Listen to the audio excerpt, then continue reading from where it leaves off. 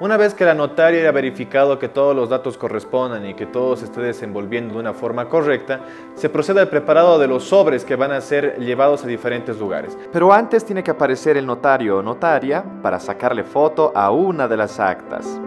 Por favor, señorita. Este es el acta de la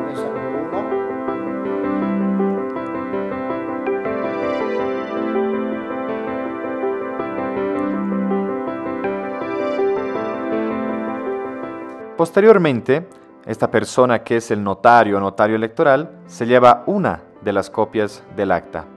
La segunda copia se quedará con el presidente de mesa.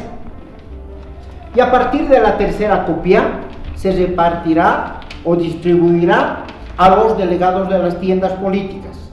El sobre A contiene cinco elementos principales. El acta original con todos los datos del conteo, las listas índices de habilitados y también de inhabilitados, la hoja de trabajo que se utilizó y las actas de nombramiento de jurados en recinto. El sobre B es muy importante porque en ella estarán todas las papeletas de sufragio utilizadas el día de la elección. En el sobre C estará todo el material restante, entre ellas las papeletas de sufragio que no fueron utilizadas y también los certificados de sufragio que no se entregaron.